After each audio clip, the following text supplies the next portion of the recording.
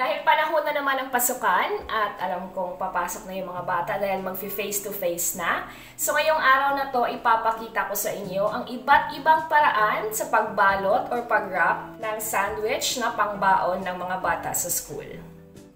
So, meron ako ditong uh, mga sandwiches. So, simple lang itong ginawa ko. Nilagyan ko lang ng sandwich bread, yung mga tinapay, para may ipakita ko lang for video purposes. So, unang-una, first style ng pagbalot ng sandwich is kailangan natin nitong kitchen towel at kailangan natin yung magkadugtong talaga. Kasi, we will be using dalawa na magkadugtong. Ayan. So, kailangan natin sa first style natin ng pagbalot is itong dalawang magkadugtong na paper towel. Alright? So, ilalagay lang natin dyan itong sandwich. Make sure na nailagay mo siya center dyan sa part kung saan magkadugtong yung dalawang paper towel. Tapos, tupi lang natin to.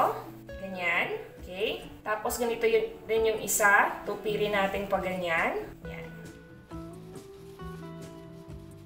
Tapos, i-press mo lang yung gilid. So, etong style ng pagbalot is, uh, pwede naman tayong gumamit ng tape. Pero ipapakita ko sa inyo kung bakit ito yung pinaka-efficient na paraan ng pagbalot ng sandwich. Pwede namang hindi nyo nalagyan ng tape kasi pwede mo namang ilagay yan sa plastic or sa like Tupperware, halimbawa ganyan. So, parang ganyan yung itsura niya. Ayan. So, pwede nyo siyang ilagay directly. Papakita ko lang sa inyo halimbawa. So, ilalagay mo siya dyan. Okay? Bakit ko sinabi na ito yung pinaka-efficient? Kasi tignan ninyo. So, pag gusto na ng anak mo na kumain, kukunin lang niya to. Tapos, nakikita nyo lang magkadugtong na yan. Ililift lang niya ng ganyan.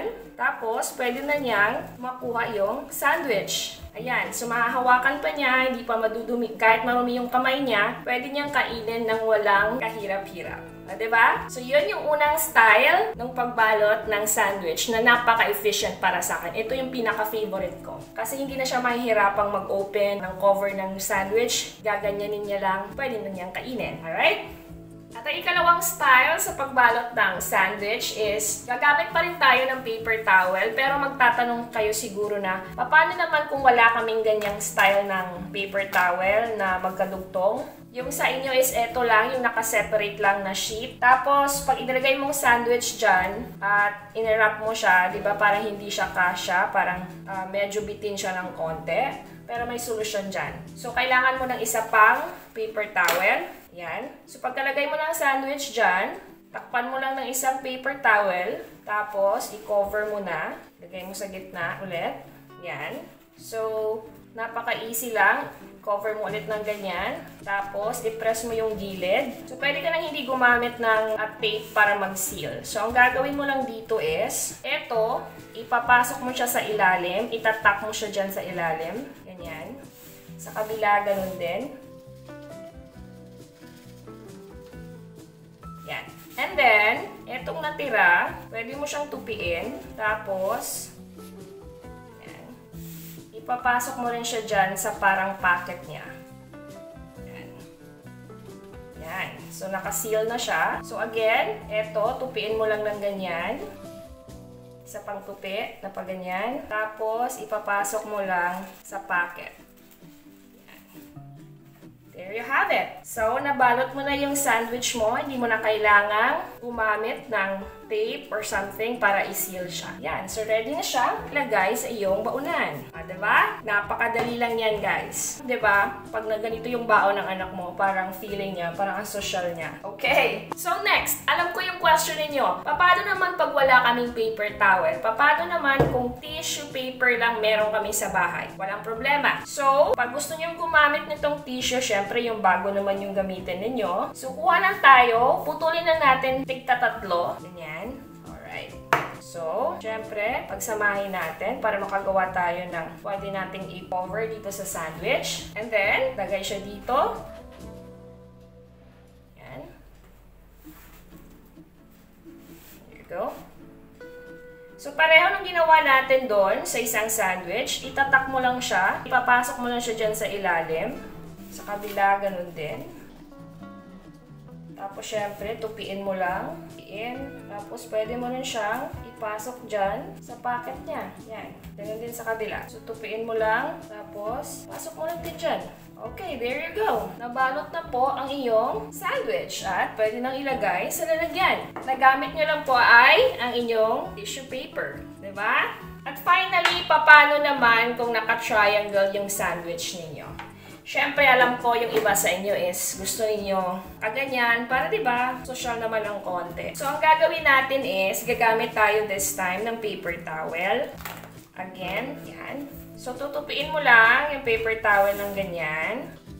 Hindi naman siya ganun ka-importante, pero para malaman mo lang kung saan yung center ng paper towel. So, ilagay mo siya dyan. Tapos, i-cover mo ng ganyan. Pwede naman in-adjust ng konti. Ganyan. Yan. So, pag ganyan, again, tutupiin mo lang, ipitin mo lang siya dyan. Tapos, ito, tupiin mo rin. Ganyan. Tapos, go. Iipit mo lang. Siyempre, mayroong mga natira dito. Ang gagawin natin is tutupiin lang natin. Yung gilid. Ito rin. Yan. Okay. So, tutupiin natin ulit. Iipit mo lang. Kada tupi mo, pwede mo lang iipit sa ilalim ng sandwich.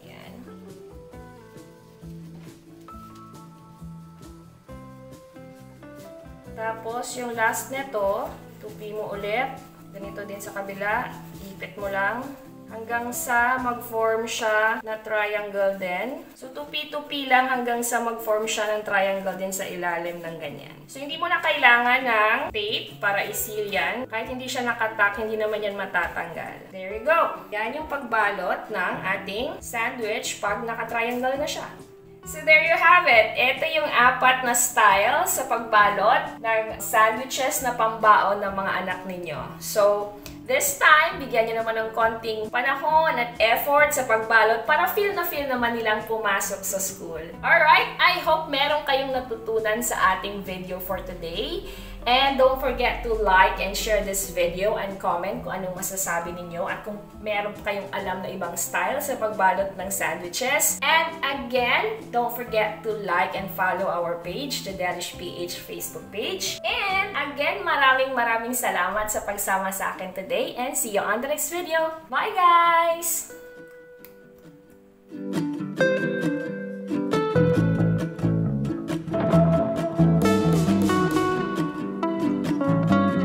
Massflex cookware and kitchenware for the love of cooking.